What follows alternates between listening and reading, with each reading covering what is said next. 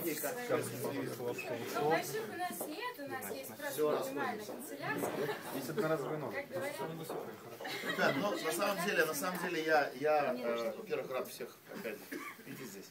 А, мы переезжаем уже не первый раз. Не Надеюсь, не последний.